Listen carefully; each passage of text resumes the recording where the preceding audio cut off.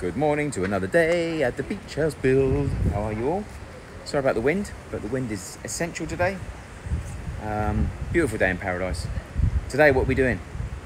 We're doing the barbecue and we're finishing off the beams, um, beams, the inner sides of the uh, the sliding doors, um, and maintenance, general maintenance. So it's that time of month where we need to get around and lubricate everything, clean everything, get the rust off everything, and protect everything. If you don't do that here, everything dies including people. So anyway, before I start carry on gassing, if you don't mind, obviously give me that thumbs up below and subscribe if you haven't subscribed before.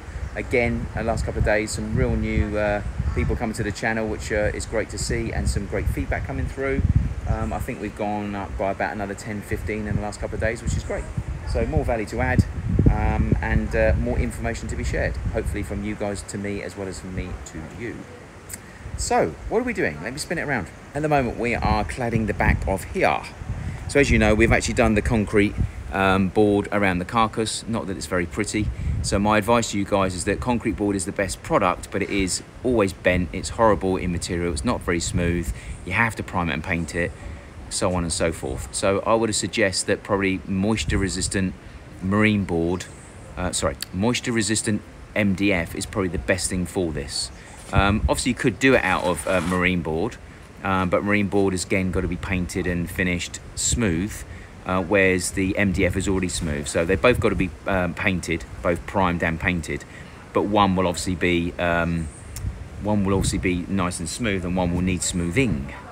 So what we're just doing at the moment, we've mounted these. Now we're just cutting out this letterbox. Uh, we're mounting the top piece. Um, Oren has just obviously cut the concrete board pieces that need to go into here. So we need to mount two bits that go in here and a bit that goes in here for the top piece to go in across, um, which will obviously be cladded like so. That'll be cladded like that. Sorry, it's a bit close. And then the letterbox part will be the same, but that bit will come out so that we can actually remove the drip tray. There's the bits already pre-cut. Orange ready to go with the concrete board. So we're going to fix those first and then we'll fix these ugly looking primed concrete sheets. Uh, that's about as nice as you get it. By the way, on the concrete board front, one side is like that, quite rough, and one, quite, one side is smoother. It's not smooth, but it's smoother. So this will be the fixed piece that will go on the top, and this will become the letterbox as we called it, nicknamed it, which will be the bit that will eventually have two little handles on here with the cladding on it, like so um, and uh, that will be removed in order to access the rear for maintenance. So yeah, obviously far from being finished, but obviously this will obviously finish the back bit, will make it look a lot more pleasant. So when it is put to one side, at least it doesn't look like an absolute eyesore. Not that I'm saying Kooiman's logo is an eyesore, but I'm sure there's better things to stare at than Kooiman's. Um, so yeah, the cladding will look nice, and then we're still waiting for Kooiman's to get in the Corian sheets. I don't know what's going on, but apparently there's a Corian shortage. So around the world we've got bread issues, bread shortages, fruit shortages, and Corian shortages. Not too sure what the hell's going on there. But anyway, barbecue is in.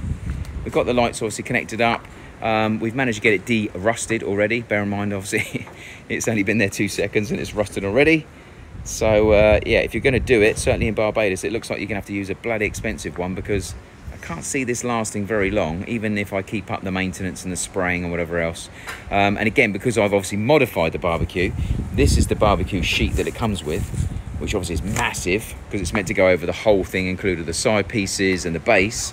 And I only need a bit to go over that. So I might have to see if I can butcher that somehow and then get it sewn and potentially have something that goes over it that at least keeps it uh, keeps it looking silver for at least a year. Let's see how that pans out. That'd be interesting, eh? So this is what the inside of the concrete board now looks like uh, with a primer on it. Obviously it's not painted, so it's like a creamy color. So we're actually gonna get that painted. This is what it looks like when it's not. But as you can see, everywhere, it's just bent. It's never straight.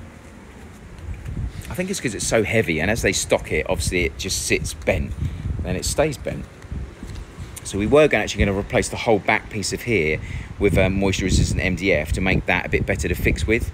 But because we've actually got the support fixings at the top, here and here, we can actually use the screws and bed through two sides. So that's good. And because the screws are quite long, they'll come through the back bit underneath there, which isn't an issue. We won't even see them. So that's the plan so far.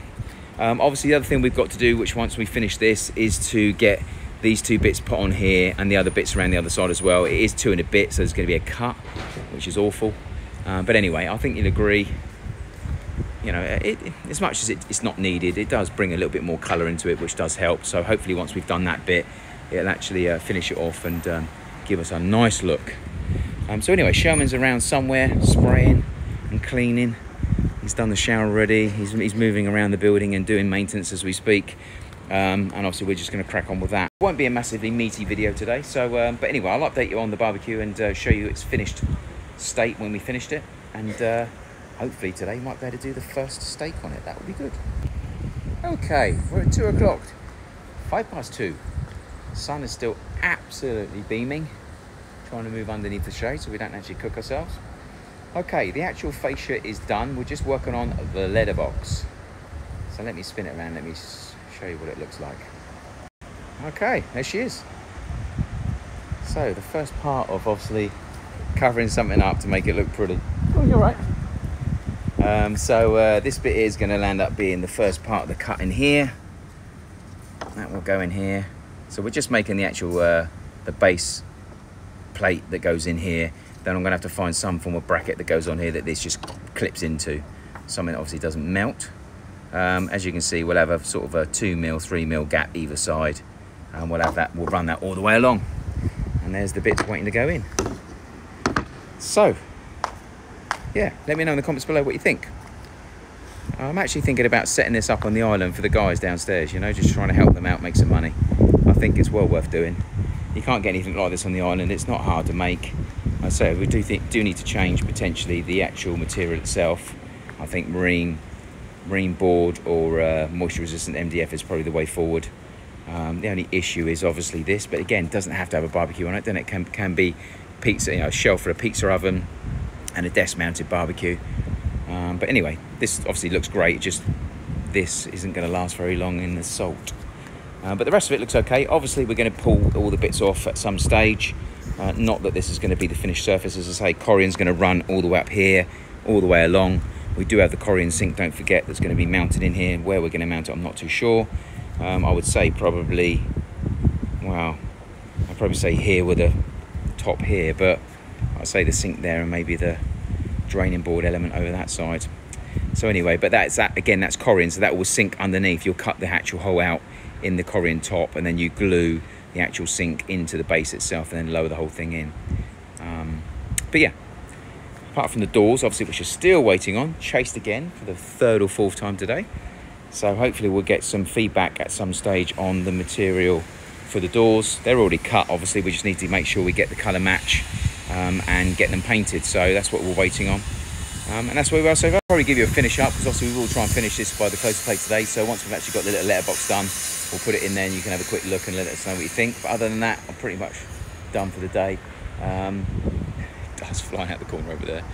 But anyway, I'll uh, I'll check in with you once it's finished. Don't forget, give me some comments below, and if you uh, if you can, a thumbs up would be greatly appreciated. Thank you. Okay, 20 past five, done for the day. As you can tell by the hair, it's been one of those days. Okay, so we still have to get the uh, the little brackets that will hold this in. As you can see, it will sit about there. So there'll be a slight gap around it, but that will enable us to take the back out and uh, access the grease. So that's all done, looking pretty cool. And then we've also finished this off as well. So again, not exactly how I'd like it because you can't dictate where these end and start. So makes it look as if it's a big wide piece. The only thing we could do is cut into that like we did here.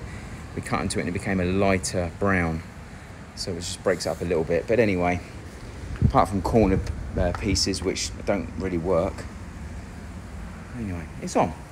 So you know, didn't have to do it, didn't need to be done, but I think it does add a little bit of colour to the patio area. So fingers crossed, it will hold up, and um, you all agree it looks okay. Let me know in the comments below if you don't mind. Let me know your thoughts. Um, tomorrow, the air conditioning guys are potentially coming in and doing the uh, the ducts. So if they do, I'll film that so you can see what they're up to. They're talking about putting a 14 inch duct through the middle, whereas I'd rather them actually um, board out the actual inside, so it's the actual size of the hole itself. I don't want any restriction. Um, obviously, we've got a restriction anyway in the hole coming in, but I'd rather it come in and then open up. So I'll talk to them about that. Um, and then once they've actually done that, then we're going to be boarding, plaster boarding the front, um, and then finishing off at least this north side. That is the north side. Um, just so we can get that boarded. Then we've got to wait for the two sheets to turn up. So um, hopefully within reason, DIY for now, for the next week at least, is going to be over once we've actually finished the column in there. Then I'm going to go and play some golf, I think. But anyway, thanks for watching. Give me some comments below. Give me a thumbs up if you don't mind. Subscribe if you haven't already. And I will check in with you guys at some stage later on next week. Take care.